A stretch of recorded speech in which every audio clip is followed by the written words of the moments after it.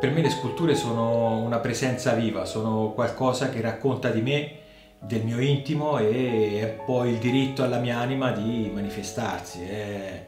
l'istinto che prevarica un po' su quello che può essere il raziocinio, perché faccio andare avanti più la parte istintiva che la parte razionale. Per me nel momento in cui scolpisco in cui creo questo dialogo e vado oltre quello che è la parte logica e mi lascio andare in una dimensione che è un po' sospesa nel tempo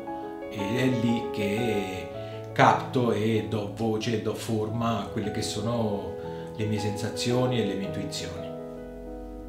Per me la presenza fisica è qualcosa di importante mentre si lavora, mentre si crea una scultura. Il gesto, lo stato d'animo, il momento in cui viene scolpito un blocco è un dialogo molto intimo e profondo e da lì parte si possono andare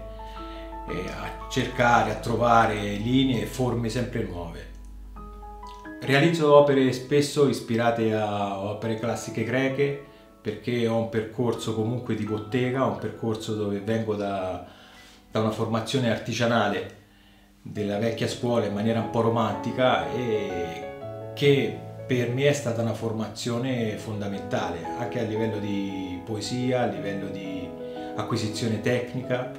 che diventa mezzo e non fine